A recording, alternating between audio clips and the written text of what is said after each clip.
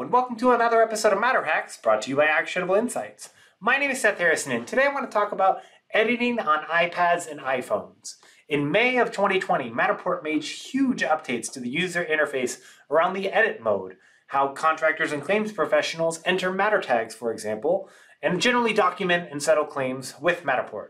Historically, it was difficult to use the interface in a mobile touch-based device as the entire system of using Edit was based around a computer and using a mouse to be able to access these features. But thanks to some an overhaul and some major updates, we can now document claims with Matterport on our iPads and iPhones way more efficiently than ever before. Uh, as you can see here, I have my iPad and the keyboard, uh, the Apple keyboard that I bought with it, and I'm going to walk you through uh, kind of what's possible now. As you can see here to start, I am on a browser. I am actually in Google Chrome on my iPad, and I have logged into my Matterport account at my.matterport.com. And I am simply looking at a scan here. Now you'll recognize that this should be a familiar screen. We're on the media tab here, showcase photos, videos, etc. In the top right, right above my scan, I have the big button that says edit, and I'm going to click that button. Boom. The new user interface is actually going to fill my entire screen, so it's a little bit easier for me to see the scan. And you'll see on the right side a familiar black box that has our edit features. Now, rather than go through every edit feature, um, I will kind of highlight the big four uh, that we look at in property insurance. Uh, the first one being primarily the photo tool. So as you can see here, I can hit the photo tool. I can use my finger, and I can actually, I'll try to do my best so you can capture this here. I'll use my finger to kind of look around here and I will take a photo. Now, use case wise, this would be the technician on site rather than using their uh, camera to take a bunch of pictures. They're using an existing scan and just taking a photo. Now that photo is immediately accessible by anybody that's logged in looking at the scan. I'm gonna hit the X here in the top right and I'm gonna hit the exit in the top left now. Uh, and I'm going to go to the photo section, and you'll see here, this is the third one I've taken today, 6-16-2020 is the date that I'm recording this video. Uh, there is the photos that I was just taking on site, so anybody back at the office that's also reviewing the scan while logged in would be able to see those photos that I took from within uh, the scan in the edit function. Let's also explore the new measurement mode here. On the right side, I have the ruler selected, the measurement, and I'm going to hit the plus button here. You'll see a new prompt that says press and hold to add your start point. So on the left side of the wall here, I'm going to press and hold. And before I let go, I can actually move this around to say, hey, where do I want to start this? I'm going to start this on the left side.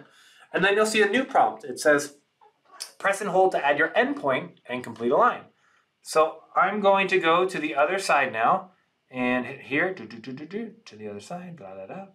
And I'm going to let go, and there I have my line. So now you can actually measure much easier with these new prompts and user interface on your devices. Now, the two I want to go to next are probably the most transformative and what I'm most excited about when it comes to editing on an iPad. If you've ever seen Actionable Insights trained Matterport, one of the things that we think are super important and preach is that the people closest to the job are the ones entering the job information into matter tags. And historically, we taught that your technicians might need to go back to the office or to their home to log on to their computers and efficiently add job information into matter tags. Well, now technicians can add job information while they're at the job site uh, after the scan's been uploaded and processed. So, for example, day two, day three, day four on a mitigation loss, the technicians are going back to the job site. I'm going to hit this uh, matter tag here on the right side. I'm to double click, you know, pressing on it. I'm to show you over here. This green tag based on our color guide, would be the dry logs. And just to show you kind of what this looks like, I'm going to click it here so you can see this would be our dry logs matter tag. But I am on my iPad. Let's say I'm the technician on site on day two. And first off, somebody put in a uh, moisture readings uh, on day one. They put in the thing here and I have some information there. Now that I am here, I can go done, done, done. Okay.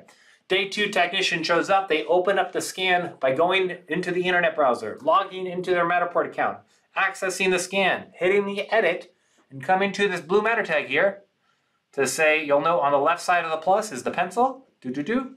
I'm the technician on site. Oh, I pressed the wrong button here. I'm going to hit that. I'm going to hit edit. I'm going to come to day, hit shift return day two and enter job info. Now as the technician, I can hit done. I'm going to hit the X in the top right here. Note that it says changes saved, but I'm going to make sure I publish. Once I hit this publish button, now anybody accessing this particular scan share link, publicly or logged in, will have access to the information that I just put in. I didn't have to fill out a bunch of paperwork and email it back to the office. All the information I needed to communicate to all of the materially interested parties was right there done while I'm on site. So this is a brand new way for technicians that are in the field uh, after the scan has been uploaded, so day two and beyond, for them to enter in job information that either a project manager or an estimator or generally the contractor or the claims professional or the policyholder or whoever you've sent the scan share link to would now have that live access information reducing some of the administrative burden that we've historically had to complete in terms of paperwork when it came to settling claims. Love it. Now, uh, one limitation that I want to highlight here. One of the reasons why you saw me so smoothly add this tag and edit it uh, was that I'm actually attached to my Apple keyboard here. One of the reasons why I highlighted this. I'm going to detach my keyboard here. Now, when I have this horizontal and I come to the right side, I hit this, I click to add a matter tag, and I put this in here, I'm going to press and hold. Oh, press and hold to add my matter tag. There it goes. Horizontally, you can see that my keyboard kind of covers the main tag, the main matter tag here. So I'm actually going to flip my uh, iPad so that it is horizontal or more vertical here, traditionally. And you'll see that I can actually now see, hey, there, tag. I can kind of see what I'm typing in much easier. So if you are not equipping uh, those in the field that are capturing scans or entering this job information with an iPad related keyboard, then just know that they should probably turn it vertical and they'll be able to see what they're taking.